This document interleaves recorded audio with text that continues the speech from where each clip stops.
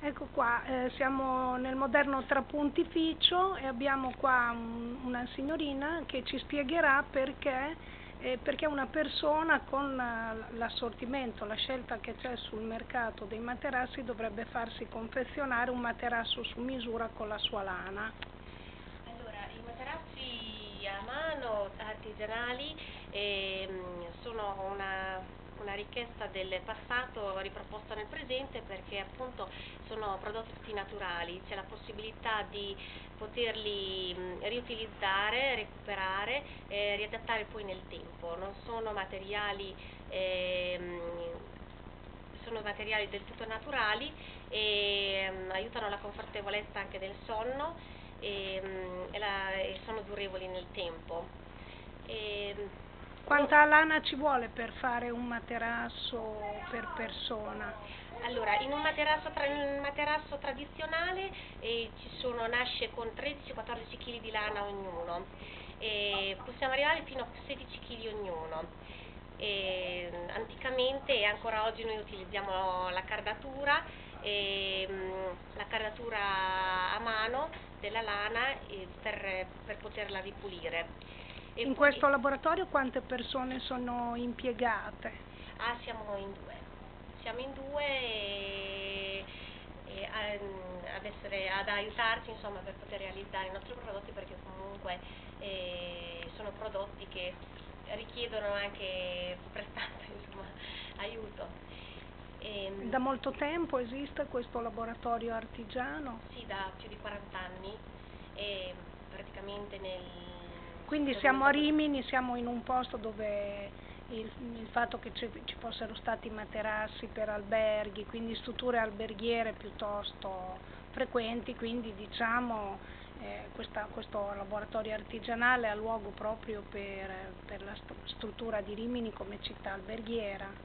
Sì, eh, noi specialmente lavoriamo con i privati perché comunque mh, mm, vogliamo mantenere la tradizione dell'artigianato e curare il singolo cliente e per poter poi anche soddisfare ogni esigenza anche nei minimi particolari.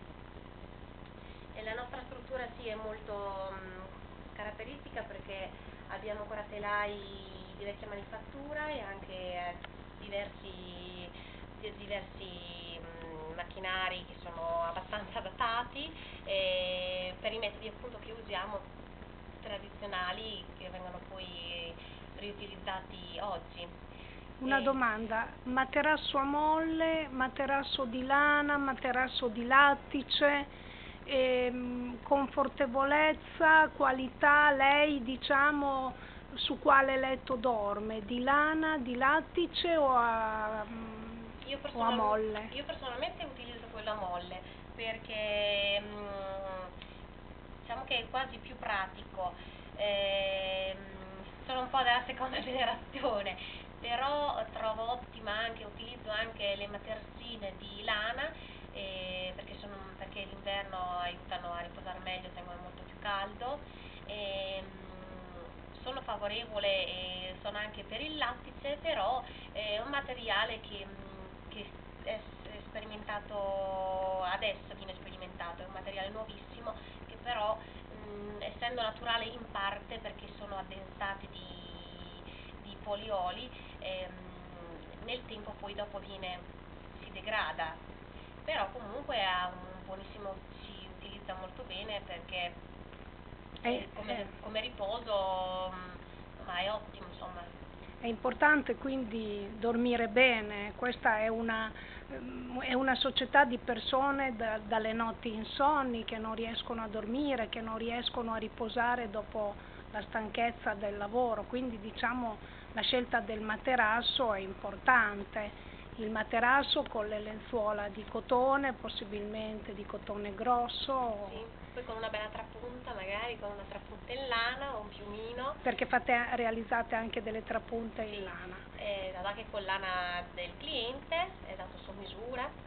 E mm, c'è molta, di, mm, non che lo voglia sapere, ma appunto costa molto un materasso a lana, di lana eh, fatto da voi, eh, magari mm, rispetto a un materasso che si va a comprare a molle in un negozio? Sì, nella, allora, nella tradizione artigiana diciamo, noi usiamo prodotti di prima qualità, perciò ehm, abbiamo una concorrenza di, di, di prezzi, però eh, noi lavorando sulla qualità abbiamo un attimo prezzi differenti rispetto poi alle grandi catene di distribuzione che sono più commerciali, però la validità, la durazione durevolezza insomma, nel tempo si verifica insomma, dai materiali che poi impieghiamo che possono essere sempre riutilizzati, sfuggiti e riadattati. E, ehm, Quindi hanno una durata eterna, sì, vengono sì, passati anche, come il corredo, diciamo, sì, una volta una come poteva... di famiglia vengono eh, anche da 50 anni in 50 anni insomma, si possono riutilizzare. Va bene, allora prima di augurare un buon sonno a tutti mostriamo questa, questa questa specie di, come si chiama signorina? Questa cardatrice, questa cardatrice dove se, se, chiudiamo la scena con lei che fa vedere come si fa a, come fa a, sì, a, a sgranare la lana, come si dice, a cardarla, quindi proprio un momento di artigianato tipico italiano questo.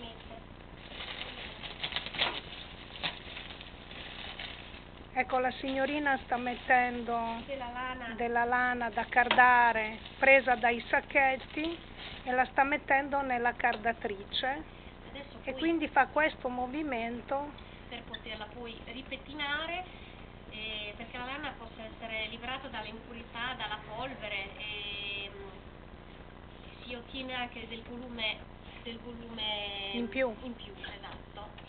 Quanti passaggi deve fare? Una volta sola è sufficiente? Eh, dipende dalle lane. Se le lane sono corte bisogna ripassarle, altrimenti oppure se le lane sono molto datate bisogna passarle due volte.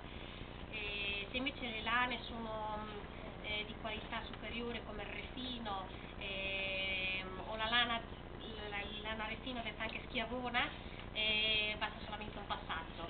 Lei questo mestiere l'ha imparato dalle nonne, dalle mamme, da chi l'ha imparato? Sì, dalle nonne, è una tradizione di famiglia, sono cresciuta qui dentro e, e mi, porto, sono sempre portata dentro un sogno, insomma. Quindi lei diciamo è una donna giovanissima però allo stesso tempo antica perché conserva queste tradizioni antiche. Grazie signorina, buonasera.